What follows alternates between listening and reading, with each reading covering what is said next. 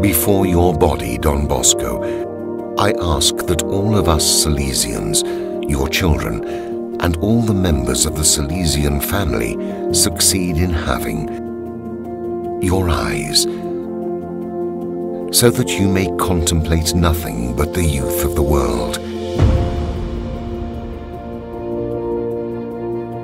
Your heart, to love them as you knew how to love them, so as to make them feel loved. Your mind, full of apostolic imagination to meet their needs and expectations.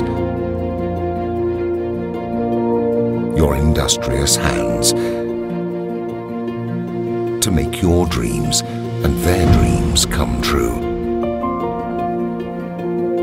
Finally, your feet